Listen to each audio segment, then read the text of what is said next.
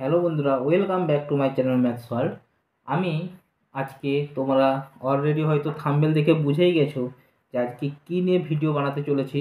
আজকের ভিডিওর টপিক হলো, আমি গতানুগতিক যেভাবে তোমাদের ক্লাস নাইনের রায় ম্যাটিনের যে ম্যাথামেটিক্স এবং ফিজিক্যাল সায়েন্সের যে চ্যাপ্টার ওয়াইজ থার্ড সাবমিটিভের অ্যান্সারগুলো দিচ্ছিলাম, সেইভাবে আবার শুরু করেছি, কারণ পুজোর জন্য বেশ কিছুটা টাইম গ্যাপ চলে গেছে। তো আমি দু নম্বর চ্যাপ্টার পর্যন্ত ম্যাথামেটিক্সে দিয়েছি। আজকে আমি থার্ড চ্যাপ্টারটা ব্যানার্জিডাঙ্গা হাই স্কুল যে চ্যাপ্টারটা আছে, দু পেজ নাম্বার দুশো ষোলো, নতুন যে কোশ্চেন ব্যাংক সেই কোশ্চেন ব্যাংকের পেজ নাম্বার দুশো ষোলো ব্যানার্জিডাঙ্গা হাই স্কুলের চ্যাপ্টারটা আমি থার্ড সাবমিটিভের থার্ড চ্যাপ্টারটা স্টার্ট করছি। তো দেখো এখানে ফার্স্ট যে কোশ্চেনটা আছে, সেই কোশ্চেনটা তোমরা দেখতে পাচ্ছ যে একটি প্রদত্ত সংখ্যাগুলির মধ্যে অমূলদ নয়, এই সংখ্যা কোনটি? তো প্রদত্ত সংখ্যাগুলির মধ্যে অমূলদ নয়, মূলদ সংখ্যা, অমূলদ সংখ্যার ধারণা কিন্তু আমরা ক্লাস এইটেই পেয়ে গেছি। তো এখানে অমূলদ সংখ্যা বলতে কোনগুলো বুঝি? না, যেগুলো রুটের মধ্যে three root three root five থাকে। কিন্তু অমূলদ সংখ্যার মধ্যে যেগুলো পূর্ণবর্গ সংখ্যা রুটের মধ্যে থাকে, সেগুলো কিন্তু অমূলদ সংখ্যা নয়। তাহলে দেখো এখানে এই রুট নাইন রুট নাইনের ভ্যালু কিন্তু আমরা জানি তিন। তাহলে এখানে রুট নাইন মানে তিন যদি হয়, তাহলে পাঁচ প্লাস তিন সমান আট। তাহলে এইটা এখানে সি অপশানটা হচ্ছে কারেক্ট অ্যান্সার কারণ এখানে এটা কিন্তু কোনো অমূলত সংখ্যা নয়। এবার যে কোশ্চেনটা সেকেন্ড কোশ্চেনটা এই কোশ্চেনটা তোমাদের বারবার পরীক্ষায় আসে এবং খুব ইম্পর্ট্যান্ট একটা কোশ্চেন দেখো বলছে, এক অসাধু ব্যবসায়ী জাল বাটখারা ব্যবহার করে ক্রেতা ও বিক্রেতা উভয়কেই দশ পার্সেন্ট ঠকায়, এতে ওই ব্যবসায়ীর লাভের পরিমাণ কত হবে? তো এই কোশ্চেনটা আমরা কীভাবে আনসার করব? বলছে কি, দু নম্বর যে কোশ্চেনটা একের দাগে দুইয়েরটা, বলছে ক্রেতাকে দশ পার্সেন্ট ঠকায়। তাহলে ক্রেতাকে যদি দশ পার্সেন্ট ঠকায়, তার মানে কি? দশ পার্সেন্ট ঠকায়। তার মানে কি? না, একশো টাকা দিয়ে সে কী করে? একশো টাকা দেয়, কিন্তু জিনিস নেই কত টাকার? একশো দশ টাকার। তাহলে আমাদের কী লিখব? না, ক্রেতাকে একশো টাকা দিয়ে জিনিস নেই একশো দশ টাকা। এক টাকা দিয়ে কত টাকা জিনিস নেই? একশো দশ বা একশো টাকা। আবার বিক্রেতাকেও দশ পার্সেন্ট ঠকায়, তার মানে কি? ও হচ্ছে মানে একশো টাকার জিনিসটা একশো দশ টাকায় বিক্রি করে দেয়। একশো টাকার জিনিসটা একশো দশ টাকায় বিক্রি করে, তার মানে ক্রেতাকে দশ পার্সেন্ট ঠকায় নাম্বার ওয়ান তার মানে কি আমাদের একশো টাকা দেয় কিন্তু নেয় কত টাকার জিনিস? একশো দশ টাকার জিনিস নেই তাহলে তার কাছে কত টাকা জিনিস আছে? একশো দশ টাকার। এবার যখন বিক্রেতাকে সেল করে, তখন কি করে? না, একশো টাকার জিনিসটা একশো দশ টাকায় বিক্রি করে। এক টাকার জিনিসটাই বিক্রি করে একশো দশ বা একশো টাকা, আর এই যে একশো দশ টাকার জিনিস নিয়েছিল, সে একশো দশ টাকার জিনিস সে কত টাকায় বিক্রি করবে? একশো দশ বা একশো গুণিত একশো দশ। অর্থাৎ আমরা জিরোগুলো কেটে গেলে আমরা কত পাচ্ছি? একশো একুশ টাকায় তাহলে সেই অরিজিনাল একশো টাকা দিয়ে একশো এগারো, একশো দশ টাকা জিনিস নিয়েছিল, সে একশো দশ টাকার জিনিস বিক্রি করছে একশো একুশ টাকা। তাহলে তার অরিজিনালি লাভ কত? একশো একুশ মাইনাস একশো, অর্থাৎ একুশ টাকা। যেহেতু একশোর মধ্যে ধরা আছে, তাহলে আমরা এটা বলতে পারি একুশ শতাংশ বা একুশ পার্সেন্ট লাভ। তাহলে আমাদের এখানে অপশান সি হচ্ছে কারেক্ট অ্যান্সার একুশ পার্সেন্ট এবার আমরা চলে আসছি তিনেরটা। তিনের যে ম্যাথটা আছে, দেখো, একশো পঁচিশ টু দি পার এক্স সমান ছশো পঁচিশ টু দি পার ওয়াই যদি হয়, তাহলে eight to the power X by ওয়াইয়ের মান কত? এটা খুব সহজ অঙ্ক, সূচকের অঙ্ক এটা। এই একশো পঁচিশটাকে যদি আমরা পাঁচের সূচকে ভাঙি তাহলে কত হয়? Five to the power three তার পাওয়ার আবার থ্রি এক্স ছিল, তাহলে আমরা বলতে পারি থ্রি এক্স তাহলে five to the power three x সমান five to the power four হলে ছশো পঁচিশ হয়, তার পাওয়ার আবার ওয়াই ছিল তার five to the power four y যেহেতু এখানে বেসগুলো সেম আছে, তাহলে আমরা বলতে পারি কি থ্রি এক্স সমান ফোর ওয়াই তাহলে three x equals to four y এবার আমরা পাচ্ছি কি এক্স বাই ওয়াই এর ভ্যালু হচ্ছে কত? ফোর বাই থ্রি আমরা প্রত্যেকে জানি এক্স বাই ওয়াই করলে মানে কি আগে ওয়াইয়ের সহগট হয় বা এক্সের সহগট হয়। এবার আমার কোশ্চেন জানতে চেয়েছিল কি, না eight to the power x by ওয়াইয়ের ভ্যালু কত? না eight to the power x by y মানে কত? চার বাই তিন। তাহলে এইট টু দি পাওয়ার চার বাই তিন। এইটটা মানে কি দুইয়ের কিউব তা দুইয়ের কিউব টু দি পাওয়ার চার বাই তিন। এই তিন তিন কেটে গেল মানে two to the power four two to the power four মানে two into two into two into two অর্থাৎ সিক্সটিন অর্থাৎ এখানে অ্যান্সার হলো আমাদের সিক্সটিন এবার আমরা চলে আসছি, তাহলে এখানে সিক্সটিন মানে এখানে option C is the correct তাহলে এখানে আবার চলে আসছি আমরা চারের দাগের অঙ্কটা। চারের দিকে যে অঙ্কটা আছে, সেটা বলা আছে কি? কে এর কোন মানের জন্য কে কে এক্স মাইনাস একুশ ওয়াই প্লাস পনেরো সমান জিরো এবং আট এক্স মাইনাস সাত ওয়াই সমান দশ, এই দুটি সমীকরণের মধ্যে একটি মাত্র সমাধান থাকবে। তাহলে একটি মাত্র সমাধান থাকার শর্ত, একটি মাত্র সমাধান থাকার শর্ত কি? একটি মাত্র সমাধান থাকার শর্ত হচ্ছে কি, এখানে এক্সের সহগ যেটা আছে, আর সেকেন্ড সমীকরণ এক্সের যে সহগ আছে, তাহলে তাদের রেশিও নট ইকুয়ালস টু ওয়াইয়ের যে সহগ বাই সেকেন্ড ইকুয়েশনের ওয়াইয়ের যে সহগ, তাদের রেশিও কিন্তু নট ইকুয়ালস টু হয়। অর্থাৎ a one by a two not equals to b one by b two হয়। এবার মাইনাসে মাইনাসে কেটে গেলো সাত তিনে একুশ, তাহলে আমরা যদি গুণ করি, তাহলে আট তিনে চব্বিশ, তাহলে কে নট ইকুয়ালস টু চব্বিশ। অর্থাৎ কে এর মান যদি চব্বিশ না হয়ে অন্য কিছু হয়, তাহলে কিন্তু একটি সমাধান থাকবে। তাহলে কে নট ইকুয়ালস টু চব্বিশ, তার মানে হচ্ছে কি, এখানে অপশান সি এর হচ্ছে কারেক্ট অ্যান্সার এবার আসছে আমরা পাঁচের দাগের অঙ্ক। পাঁচের দিকে যেমন করে দেখো বলা আছে এক্স এবং ওয়াই এর মান কত হলে এক্স এবং ওয়াই বিন্দু বিন্দুটি উভয় অক্ষ থেকে সমদূরবর্তী হবে এবং তৃতীয় পাদে অবস্থিত হবে। তাহলে আমরা প্রত্যেকে জানি যে তৃতীয় পাদে যেগুলো অবস্থিত হয় x x dash, y y dash. তার তৃতীয় পাদ মানে কি? এই পাদটা ফার্স্ট সেকেন্ড থার্ড ফোর্থ এই পাদে যারা অবস্থিত হয় তাদের দুটোই কিন্তু পজিটিভ নেগেটিভ হয়। তাহলে দেখো এখানে প্রত্যেকটা আনসারের মধ্যে দেখো আমাদের এ এরটা দুটোই নেগেটিভ বি দুটোই নেগেটিভ সি এরটা একটা পজিটিভ একটা নেগেটিভ আর ডি এরটা একটা পজিটিভ একটা নেগেটিভ তাহলে এখান থেকে আমরা কি বুঝলাম? না সি আর ডি কখনোই হবে না। এবার বলেছি উভয় পক্ষ থেকে সমদূরবর্তী। তার মানে কি? নেগেটিভ হলেই শুধু হবে না। এখানে কিন্তু এক্স আর ওয়াইয়ের ভ্যালু কিন্তু সেম হতে হবে। তাহলে দেখো এখানে দুটোই কিন্তু মাইনাস ওয়ান আছে। তাহলে আমাদের অপশান হবে কি বি সমুদ্রবর্তী বলার জন্য ওয়ান দুটোই সেম হতে হলো এবং তৃতীয় পদে বলার জন্য দুটোই নেগেটিভ হলো। তাহলে এখানে ভি এর বি অপশান এবার আসছি আমরা ছয়েরটা ছয়ের যে অঙ্কটা আছে logarithm eighty one base root three এর মান কত? তা লগারিদম এই এইটটি ওয়ানটাকে রুট থ্রির আন্ডারে আনতে হবে। কীভাবে করব আমরা? এই এইটটি ওয়ানটাকে যদি আমরা থ্রির আন্ডারে আনি তাহলে কত পাই?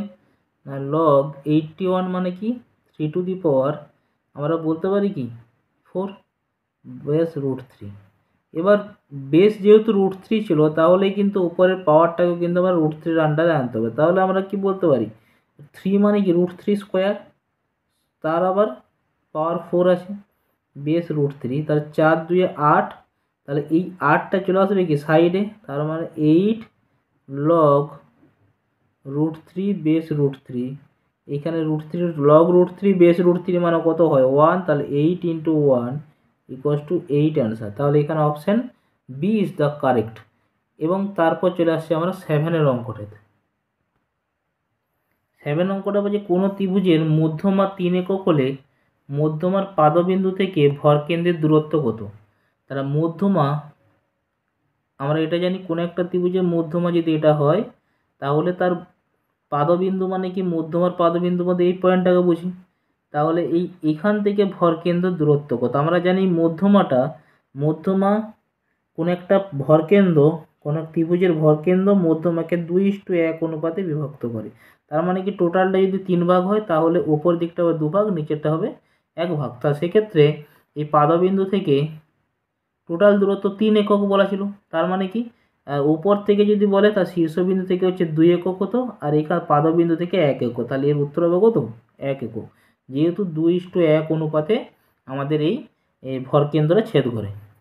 এবার আসছে আমরা আটের দেখ অঙ্কটা। একটি সামান্তরিক এবং একটি আয়তক্ষেত্র, একটি ত্রিভুজ একই ভূমি ও একই সমান্তরাল সররেখা যুগলের মধ্যে অবস্থিত হলে, তাহলে তাদের ক্ষেত্রফল পি কিউ আর হলে কোনটি ঠিক?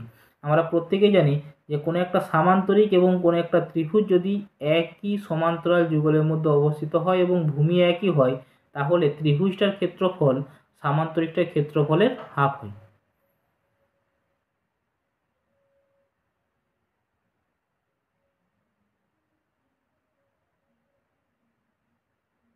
এক্ষেত্রে সামান্ত, আয়তক্ষেত্রটা একটা সামান্তরিক, তার মানে কি?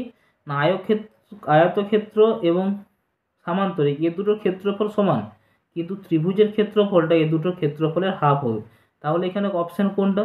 না, যদি বলি আমরা এখানে পি সমান কিউ সমান টু আর বলতে পারি, অর্থাৎ ত্রিভুজের ক্ষেত্রফলের দ্বিগুণ করলে আমাদের এই আয়তক্ষেত্র এবং সামান্তরিক পাবো। তাহলে পি সমান কিউ সমান টু আর মানে অপশান ডি তাহলে এইখানে অপশান ডি হচ্ছে আমাদের এখানে কারেক্ট অ্যান্সার এবার আসছে আই এক্স অর্থাৎ নয়েরটা প্রদত্ত বীজগাণিতিক সংখ্যামালাগুলির মধ্যে কোনটি বহুপদী সংখ্যামালা? বহুপদী সংখ্যামালা বলতে আমরা বুঝি, কোনটি বহুপদী সংখ্যামালা এখানে? দেখো, এখানে কিন্তু নিচে এক্স আছে মানে কি এক্সের power to the power minus one হবে। এখানে হচ্ছে কিউব রুট আছে, এখানে রুট এক্স আছে, তাহলে আমাদের বহুপদী সংখ্যামালা বলতে অপশান ডি ডিটা হচ্ছে কারেক্ট অ্যান্সার এবার আমরা আসছি এক্সেরটা বলছে কি এখানে? তিনটে বিন্দু দেওয়া আছে, যাদের তিনটে বিন্দু দ্বারা গঠিত ত্রিভুজের ভরকেন্দ্রের স্থানাঙ্ক কত?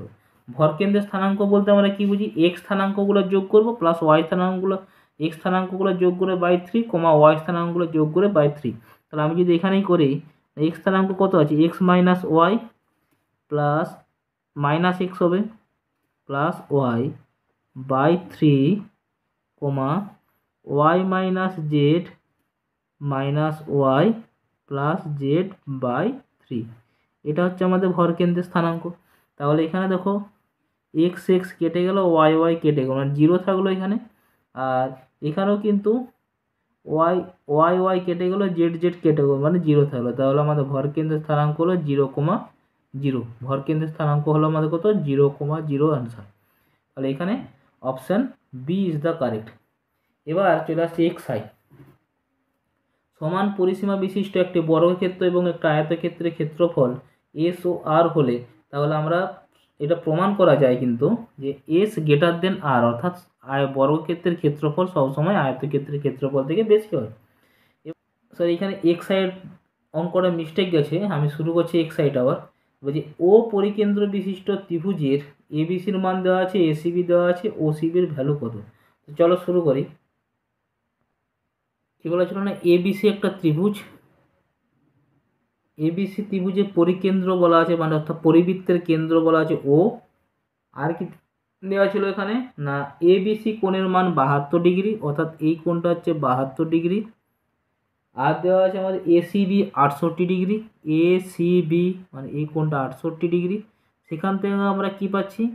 কোণ বিএসি এই বিএসি কোণের মান কত পাচ্ছি এখানে? না, এই দুটোকে একশো আশি ডিগ্রিতে মাইনাস করতে হবে, তাহলে একশো আশি ডিগ্রি মাইনাস বাহাত্তর ডিগ্রি প্লাস আটষট্টি ডিগ্রি তাহলে বাহাত্তর প্লাস আটষট্টি করলে একশো চল্লিশ হয়, তাহলে এইটা কোনটা পাচ্ছি? চল্লিশ ডিগ্রি এই কোনটা পেলাম আমরা? চল্লিশ ডিগ্রি এবার বলা আছে কি, আমাদের চাই আমাদের লাগবে কি ও বিসি ও বিসি অর্থাৎ এই যে কোনটা, এই কোনটা যদি যোগ করি, এই কোনটার মান কত? তাহলে এখানে দেখতেই পাচ্ছ তোমরা ওবির সঙ্গে কিন্তু ওসি সমান ওবি সমান ওসি কারণ কি? দুটোই কিন্তু বৃত্তের ব্যাসার্ধ। তাহলে এই ও বিসি এটা একটা সমদ্বিবাহু ত্রিভুজ। তার মানে কি? এই বাহুটার সঙ্গে এই বাহুটা, এই কোণটার সঙ্গে এই কোণটা সমান হবে। আবার একটা জানি কি? কেন্দ্রস্থ কোণ পরিদৃষ্ট কোণে দ্বিগুণ হয়। অর্থাৎ পরিদৃষ্ট কোণটা চল্লিশ আছে, তার মানে কি? এটা হবে আশি। এটা যদি আশি হয়ে থাকে, তাহলে আবার এই কোণ দুটো সমান। তাহলে এই কোণগুলো তার টোটালটা মাত্র একশো আশি। তার মধ্যে যদি আশি বাদ যায়, তাহলে এটা দুটো মিলিয়ে কত হবে? একশো। তাহলে নিশ্চয়ই এটা ফিফটি এটা ফিফটি অর্থাৎ এটা পঞ্চাশ এটা পঞ্চাশ। তাহলে এখান থেকে আমি বললাম কি? ও বি সি সমান একশো আশি থেকে আমাদের আশি বিয়োগ বাই দুই, অর্থাৎ পঞ্চাশ ডিগ্রি। তাহলে এই আশি ডিগ্রিটা কোথায় পেলাম?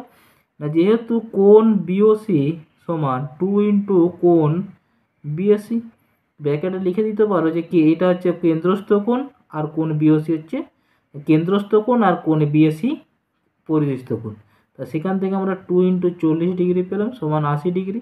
তাহলে আমাদের আনসার কত? আমাদের ফিফটি ডিগ্রি, অর্থাৎ ফিফটি ডিগ্রি মানে option C option C is the correct এবার চলে আসছি আমরা এক্স ডবল আই অর্থাৎ বারোটা হয়ে গেছে, আমরা এক্স ট্রিপল অর্থাৎ তেরোর দিকে কোশ্চেনটা করব এবার। তো তেরোর দিকে যে কোশ্চেন আছে, বলছে একটি আয়ত লেখে লেখর প্রতিটি আয়তক্ষেত্রের ক্ষেত্রফল সমানুপাতি হবে। কখন এই প্রত্যেকটা আয়তক্ষেত্রের ক্ষেত্রফল সমানুপাত হবে, সেটা আমাদের জানতে হবে।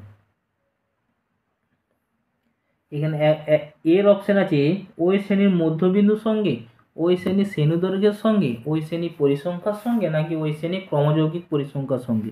তাহলে আয়ত লেখের প্রত্যেকটি আয়ত লেখের বা আয়তক্ষেত্রের ক্ষেত্রফল সমানুপাতে হবে কি? যদি শ্রেণীদৈর্ঘ্য বাড়ে শ্রেণি দৈর্ঘ্য যদি বাড়ে, তাহলে কিন্তু আমাদের আয়তক্ষেত্রের ক্ষেত্রফলটা বেড়ে যাবে।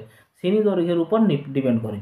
এবার আমরা লাস্টের যে অঙ্ক এক্স আইভি অর্থাৎ এমসিকিউর যে লাস্ট অঙ্ক সেই অঙ্কটা আমরা চলে আসছি।